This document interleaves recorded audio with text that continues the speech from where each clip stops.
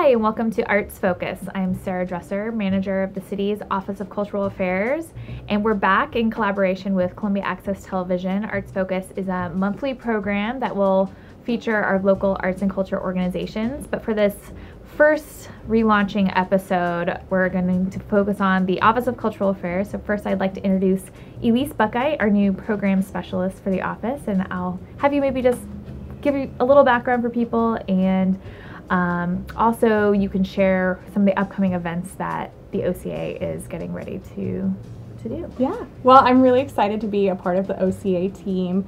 Um, I've been in Columbia for 10 years and I've always just loved the arts community we have here. Um, you know, I've enjoyed, even as a poor college student, so many opportunities for people to enjoy free art, um, you know, and now as an adult being able to go and enjoy um, just how much art and culture Columbia has to offer. So I'm excited to be a part of the team. Um, in terms of events we have coming up, we have a lot of annual events that we get to host through the Office of Cultural Affairs. Um, one that's coming up that's super cool and also free for the whole family um, the Stephens Lake Park Amphitheater Concert Series, which is kind of a mouthful. Right. um, but it's hosted by the Columbia Parks and Recreation. They have concerts May through uh, September, the whole summer, mm-hmm. and we uh, co sponsor one of those in June. Uh, so it's on June 7th, and uh, the Missouri Symphony Society will be performing there. Uh, it's Strike Up the Band right. is the name of that. And those are always really fun events. Um, I've obviously attended many in the past. Um, people can bring picnics and mm-hmm. blankets and refreshments, and usually the temperature, you know, is yeah. perfect. And fingers crossed in Missouri. Really, really enjoy a lovely evening. Yeah. And the park is a backdrop. Um, I know those are really fun events, and happy that we can help sponsor that June concert. Absolutely, yeah. It's a good partnership with Parks and Rec and also with Missouri Symphony Society, one of our really important organizations. Um, also, coming up in the summer, we have um, the Celebration of the Arts uh, event. That's where we announce which uh, commemorative poster, which artist has won, um, and will be on the 2018 commemorative poster. Um, we sell that in our office, and that's kind of a big event to launch and also fundraise for um, our Columbia Arts Fund. Uh, it's a really cool event, and uh, people get really excited to see which art right. is gonna is gonna win. Right. And I know that we're since we're filming this in March, um, kind of in the early planning yeah. stages, so people will probably learn more about the event and when it's going to be unveiled sometime over the summer once we have those yeah. venue details. But um, yeah, it's always kind of an exciting time to try to figure out when the event's going to be and um, also when the poster has to kind of keep it secret under wraps until then. So that's always kind of a fun challenge for our office. yeah, yeah. And uh, another exciting event coming up for families is the Creative Kids Family Fun Fest. Uh, so there's several events throughout the summer for Family Fun Fest, and we sponsor one on September 19th, 6 to 8 p.m. and that's at Cosmo Park. Right. And uh, it's such a cool event um, with free uh, hands on activities and crafts for the kids. There's dance and theater and music performances. Right. Um, and there's face painting and, and the whole right. deal. And I know that Parks and Rec does that whole series throughout mm-hmm. um, the summer, warmer months as well. So um, it's always great to end with the yeah. arts and creativity. Um, so families should definitely check those out Absolutely. throughout the summer. Great. Yeah. Um, so, in terms of, of other things coming up right. for the Office of Cultural Affairs, we just kicked off a new funding cycle. We did. So, um, just to give people an idea of our one of our big programs, I think is one of the most important things that the Office of Cultural Affairs does every year is our funding to local arts and cultural organizations. So, pretty much all the guests that we're going to have on Arts Focus are the recipients of mm. uh, cultural funding from our office. And so what that means is we have an application process and um, all the agencies must apply by the deadline, which is in um, usually May 1st every year. And then our Commission on Cultural Affairs, which is like the board of the directors, but um, the advisory board for our office, they read and evaluate um, sometimes up to 30 applications. We've seen a great increase in the number of organizations who are el- eligible um, and those who have applied over the years. I think when I first started um, about six years ago, there was maybe 19 or 20 applicants, and now we're up to nearly 30. Wow. Um, so I think that just shows that the arts community in Columbia has grown just in the last you know six or seven years. Um, quite a few new smaller organizations, but then um, maybe other groups who haven't applied in the past have um, participated in that. So we really are serving kind of all of the different arts and cultural organizations in uh, Columbia. So, you know, we fund things from art in the park to um, theater programming at um, TRYPS Institute at Stephens College uh, to art classes at Access Arts. Really anything that an arts organization does, as long as they're nonprofit, 501c3, uh, they're eligible. So we're really excited to um, help those organizations along and um, have our commission review them. And um, I think it's a great time for, for us as we read through them all as well to um, really understand the depth of programming um, that's reaching all segments of the community. Yeah, absolutely. I know it was, um, it's been cool for me as I'm learning the office to find out how far um, all those organizations extend into parts of Columbia.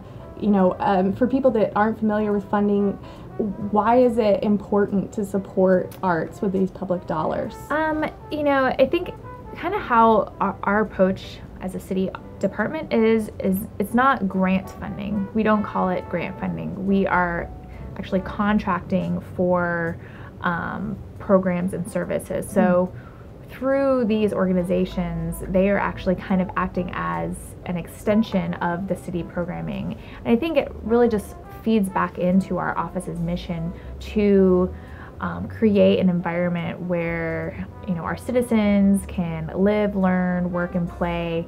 Um, we're educating the community. We're creating an environment that is um, you know just a great city for people to want to live in and stay in and raise their families, come visit. So um, really, this funding process is um, contributing to all of that, and we're also helping to sustain these different um, arts agencies, right. um, helping them continue to grow, continuing to um, strengthen their programs. Yeah, that's awesome. It's such a cool part of, uh, yeah, of the office. Um, so another big program that we are responsible for is our public art program, um, and also disseminating that information about um, not only the city-owned art, but really all the viewable art around town. There's quite a bit on our colleges and universities, mm-hmm. private businesses, um, like many of the banks have collections. Um, so why don't you tell us a little bit about um, the public art guides and that program kind of as a whole? Yeah, so we are very lucky in Columbia. We're a, a creative community. Um, so, so we have that public and private um, support of the arts through public art. Um, and there are lots of opportunities for people to, to educate themselves and learn about public art and figure out where it is and go take a tour. Uh, we have options for all levels of, of digital to non-digital. Right. So if you prefer your paper guide, we have the public art guide. Um, it's a it's a nice handy brochure that you can keep in the car, or um, you can go out on a weekend and take a tour of Columbia and um, find out. Especially, you know, people know some of the more apparent public art, right. Um, but there's there's little pieces um, all over town. Uh, and then if you uh, prefer digital, we have an app. It's mm-hmm. the Otocast app, and it's available on Android or iPhone and uh, it's really cool. It's got uh, audio along with each uh, public art piece, mm-hmm. so you can find out where it is on the map, and then you can also hear from the artists um, about what the piece is and um, maybe some of the inspiration behind it. Uh, we also have all of that listed on our website, so right. if people just want to go to comoarts.com. Um, they can just see uh, maybe in different parts of town where they live, what's close to them, um, and go and enjoy some art. Uh, one of the coolest uh, public art things for a lot of people, it's really apparent, um, and they, they always associate it as public art, is the Traffic Box right. Project. Uh, so that's something we have going on right now, and uh, we are in the process of selecting um, our, our public, our standing committee on public right. art is uh, getting ready to select our next traffic box right. artist. And that's always fun because it's usually a local or regional mm-hmm. artist. Um, we request specific um, proposals from them that kind of need to relate to the downtown community or the arts community. So yeah. I think all the ones that we've seen so far, I think we're on our maybe 13th box. 13th box. Um, they've all been very different, but they all still kind of address that cultural vibrancy that is specifically downtown Columbia. Um, and Yeah. become a great part of our cultural fabric downtown. Absolutely, yeah. They're they're um, just a nice feature at downtown as you're walking, but also for the artists. You know, that's Mhm. 13 different artists who have been able to share their perspective Right. and, and their piece.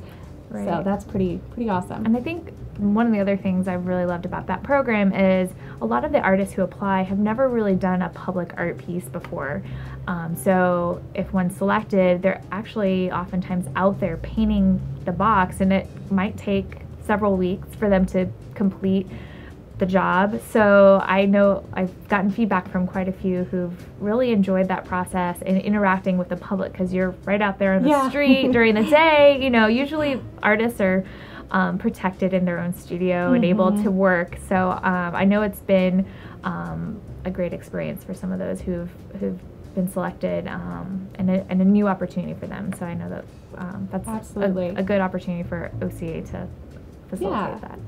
Yeah, and then um, you know another piece of public art, but kind of more on the large scale, is our Percent for Art Right. program. I know we have a few coming down the pipeline right now. Right. So, just for people who might not know what that means, uh, the percent for art uh, was passed by city ordinance in 1997, so over 20 years ago. I can't believe it's been that long. um, so, it designates um, 1% of any new or uh, construction or renovation project that the city is responsible for. So whether it be um, when they expanded City Hall several years ago, if they build a new parking garage or fire station or police station, um, recreation building, um, 1% of the total budget of that may be eligible for site-specific public art. So city council has to designate the project. You know, not every single building may be a percent for art, but uh, we've had quite a few so far. So right now we're in the early stages of two different projects. One will be the Columbia Sports Field House, which is a parks and recreation project down at Phillips Park, kind of South Columbia. Uh, so that artist has been selected as David Spear. So he's in the kind of design phase where he's working on his design for that project, and then there'll be opportunity for public input, and then it'll go through our standing committee on public art in the city council again before he gets to work on okay moving forward with designing it and getting it installed.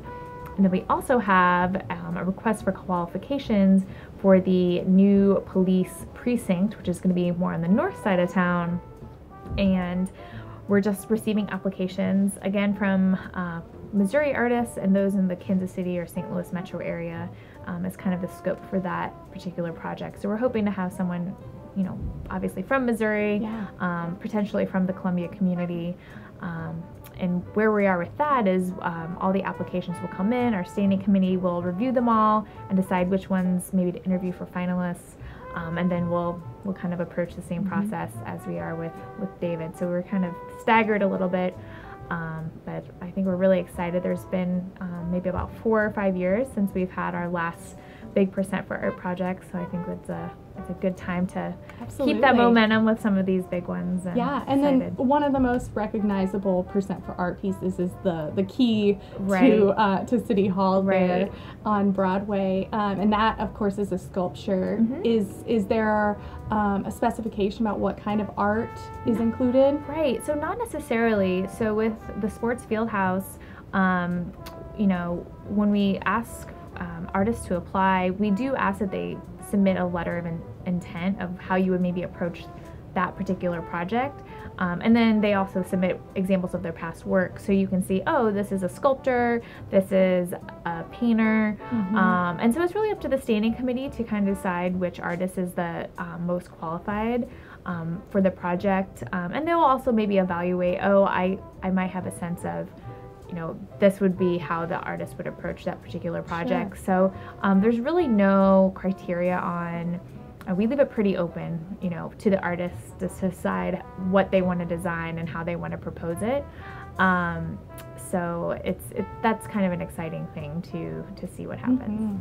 Yeah, I'm looking forward to uh, yeah. getting some submissions on that. Yeah. Well, we have a lot of uh, great things coming up for the Office of Cultural Affairs, and uh, hopefully people will tune back in and keep up with uh, these events as they develop. Right. And we'll be here on Columbia Access Television monthly. monthly. For those who want to find out more information about the Office of Cultural Affairs, visit the website, comoarts.com, sign up for art news, yeah. and keep watching Arts Focus. Great. Thank you.